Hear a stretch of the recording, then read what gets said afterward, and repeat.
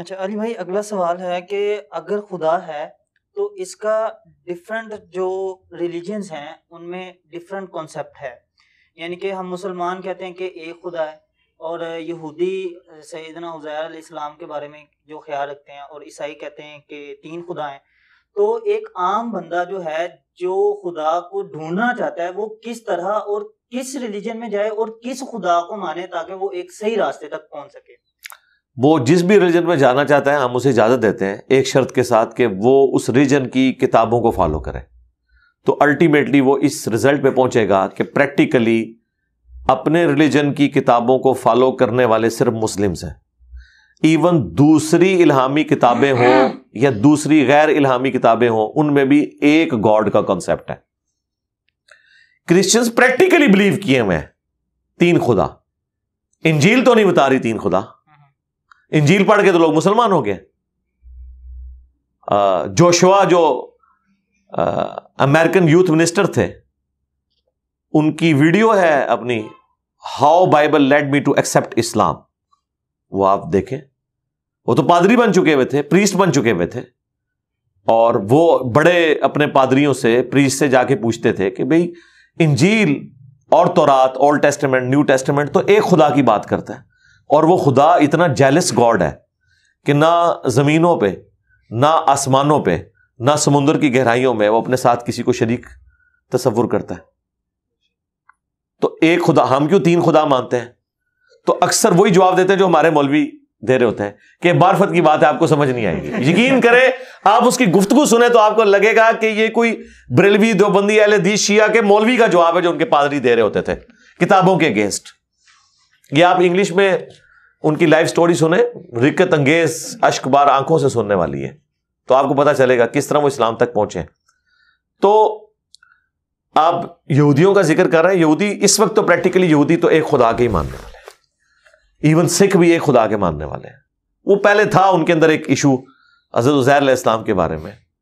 और क्रिश्चियंस के साथ भी आप बात करें, थोड़ी सी बहस करें तो अल्टीमेटली वो कहेंगे, खुदा एक ही है, उसके रूप ये हैं और यूँ है यूँ है, वो करेंगे, उन्हें कहें कि आप एक अनएम्बिगुअस आयत टेम्पर्ड तो रात और इंजील से पेश करें कि जो बता दी हो कि तीन खुदा है। क्योंकि तो बुनियादी कीदा हो गया ना। और कुरान पूरे का पूरा सेंटर्ड अराउंड तोहीद है। हमें कोई आगे कहना कोई एक अनएम्बिगुअस आयत बताएँ कि एक खुदा है। हम कहेंगे, कोई सा सभा खोल लो। हाँ। सारी अनएम्बिगुअस है। बिल्कुल वाजे है, गैर मुबहम है कि एक खुदा है। डॉक्टर जाकिर नाइक ने एक वीडियो रिकॉर्ड करवाई थी, बहुत पहले भी उन्होंने, उर्दू में भी, इंग्लिश में भी कॉन्सेप्ट ऑफ़ गॉड तमाम रिलीजन्स में, जो दुनिया में जितने वर्ल्ड रिलीजन उनके स्क्रिप्चर्स के अंदर, उनकी किताबों के अंदर जो एक खुदा का कॉन्सेप्ट है। तो प्रैक्टिकली एक खुदा का ही कॉन्सेप्ट पाया जाता है, तमाम रिलीजन की किताबों के अंदर। अब प्रैक्टिकली वो उसके ऊपर अमल नहीं कर रहे। तो फिर आप मजीद डीप डीप करेंगे तो अल्टीमेटली इस्लाम तक इसलिए पहुँचेंगे कि इस्लाम ने किसी और रिलीजन का डिनाइल तो किया ही नहीं है। इस्लाम यह कह रहा है कि बाकी जितने रिलीजन हैं, जो इल्हामी है, वो यही तालीमत देते थे और उसी की ही एक, समझ लें final version final testament Quran और नबी इस्लाम की मुबारक दावत है। मुझे बताएँ किस मुसलमान ने दुनिया में दावा किया है कि इस्लाम के बानी मोहम्मद रसूलना है। हमने तो कभी क्या हम तो स्टार्ट ही कहते हैं आदम से लेके ईसा तक अलैहिस्सलाम अजमैन और उसके बाद ख़ातमनबीन मोहम्मद रसूलुल्लाह सल्लल्लाहु हम नबी इस्लाम पर ईमान लाने को भी उतना ही ज़रूरी समझते हैं जितना अगले अंबिया को। और अगले अंबिया को भी मानना उतना ही ज़रूरी समझते हैं जितना कि अपने नबी को, सल्लल्लाहु अलैहि वसल्लम। हम तो तमाम रिलीजन के मानने वाले हैं। और ट्रू कॉन्सेप्ट जो गॉड का है उनमें मौजूद है और इन इल्हामी किताबों में आखिरी पैगंबर की पेश गोइयाँ भी मौजूद हैं। अगर आपको तौरात और इंजील ये बता रही हो कि जब वो आखिरी नबी आएँगे तो आपने उन पर ईमान लाना है और वो ईसा ने मरियम का नाम दुनिया में रोशन करेंगे और उनके मुँह में अल्लाह अपना कलाम डालेगा और वो अपनी ख्वाहिश से कुछ नहीं कहेंगे, वो वही कहेंगे जो अल्लाह उनको वही करेगा। यह आयात तो कुरान में भी है। वमा हवा इन हुआ हुआ जो आपको गॉस्पल ऑफ़ जॉन में ड्रिट्रानोमी चैप्टर में तो रात के अंदर ओल्ड टेस्टमेंट में मिलेगा। ये सारी बातें कुरान में और ये उनके लिए एक बड़ी यूनिक बात थी, क्योंकि अगले अंबिया की जो किताबें हैं, वो सिलेबस की शक्ल में उन्हें दी जाती थी। ये उनके लिए बड़ी हैरान कन बात थी कि एक प्रॉफिट ऐसा भी आएगा, जिसे सिलेबस नहीं दिया जाएगा, बल्कि तेईस साल तक मुसलसल, जब भी कोई इशू होगा, उसके दिल के ऊपर बात उतरेगी और वो लिखवाएगा। ये किसी पैगंबर के साथ नहीं हुआ। इसलिए नबी उम्मी की निशानियाँ तमाम इलामी किताबों में ये है कि आखिरी वो होगा जो उम्मी होगा। उसे कोई किताब नहीं दी जाएगी जो लोगों को देगा सिलेबस के तौर पे, बल्कि उसके सीने पे कलाम उतरेगा, फिर वो लिखवाया करेगा, उसके मुँह से खुदा बोलेगा। यानी ये उस फॉर्म में नहीं जो सूफिया क्लेम करते हैं। मुराद ये कि अल्लाह उनके दिल पर लिखा करेगा और वो अपनी ज़ुबान से उस कलाम को बयान करेंगे। ये नबी इस्लाम की निशानियाँ बताई गई थी। तो वो तो आप similarities between Christianity and Islam similarities between Hinduism and Islam ये डॉक्टर जाकिर नाइक की वीडियोस इवन अहमद दीदास साहब की वीडियोस भी आप देखें। तो आपको कई एक कॉमन चीज़ें मिल जाएँगी। अल्टीमेटली खुदा के कॉन्सेप्ट पे ही आप आएँगे कि ट्रू मानो में खुदा के मानने वाले। देखिए, खुदा का दीन तो वो होगा ना, फिर जिसको ताइद भी खुदा की हासिल होगी। प्रैक्टिकली तो इस वक्त गिरजे जो है वो मस्जिदों में कन्वर्ट हो रहे हैं। तलवार के ज़ोर पे नहीं सरकार पैसे दे के खरीद रहे हैं। बेचने वाले अपनी मर्ज़ी से बेच रहे हैं।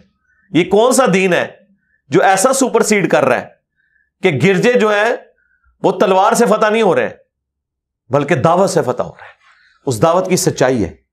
कितने बड़े बड़े इस्लाम के दुश्मन, इस्लाम के खिलाफ प्रोपेगेंडा करने के लिए, किताबें लिखने के लिए निकले हैं और इस्लाम के हाथों मखलूब हो गए इस्लाम कबूल कर लिए तो सरकार फिर जादू वो जो सर चढ़ के बोले।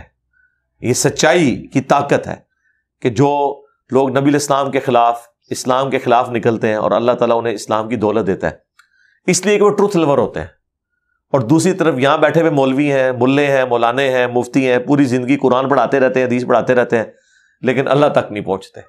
अल्लाह नहीं होता ज़िंदगी में, नबी नहीं होता, बाकी सारे होते हैं। और एक वो लोग हैं जो अल्लाह और उसके नबी के दुश्मन बन के निकलते हैं, लेकिन तलाश में होते हैं सच्चाई के। अल्लाह ताला उन्हें हक तक पहुँचा देता है, उनकी उस तड़प। और ये अल्लाह का वादा भी है, अल्लाह ने अपने ऊपर खुद लाजिम कर लिया है। वल्लदीना जाहदूफीना लना देखिए, अल्लाह ताला ने कभी भी किसी के साथ जिद नहीं लगाई, सवाए उस शख्स के साथ जो खुद अपनी आँखें बंद कर ले। उसको अल्लाह ने कहा कि अगर कोई ऐसा करेगा, फिर हम उसके ऊपर मोर लगाएँगे। ख़त्म अल्लाह फिर हमसे कोई गिला ना करे। जो सूरत नाम की आयत नंबर वन टेन है कि हम इनकी आँखों और दिलों को हक बात कबूल करने से फेर देंगे। जैसा कि जब पहली दफ़ा इनके सामने हक आया था तो इन्होंने डिनाइल किया था उसका। वलऊ अन्ना नजन्ना इलेहिमुल मलाइका। अब यह हालत है कि इनके ऊपर अगर फरिश्ते भी नाजिल हो, मुर्दे कब्रों से निकल के इनसे बातें करें और क्यामत भी इनके सामने कायम हो जाए, तब भी ये ईमान नहीं लेकर आएँगे। क्योंकि अल्लाह ने मोहर लगा दिए अच्छा फिर आप सोच रहे होंगे, ये सब कुछ हो जाए तो ये क्या जवाब देंगे? कि मुर्दा निकल के कहे कि इस्लाम हक है और तुम गलत दीन के ऊपर हो। वो भी अल्लाह ने कुरान में कहा है कि अगर हम आसमान से एक किताब नाजिल कर देते, ये अपने हाथों से छू लेते और देखते कि यूँ नाजिल हो रही है, तब भी ये शक में मुबतला होते और कहते नहीं, ये ऐसा हो नहीं रहा, हमारी नज़रों पर जादू हो गया। ये अल्लाह ने फिर बताया कि उस वक्त माना क्या लगाना था इन्होंने? हाँ। जिसे वो कहते हैं, नहीं, ये जो आप टू एट वन टू बयान कर रहे हैं, इसका मतलब ये नहीं, ये है। समझ आई? बल्कि एक तो इस लेवल तक गया उसने कहा कि बागी का मतलब तो है तलबगार। हाँ, कि तू ठीक है थोड़ा इलाज यही है तुम यही करो।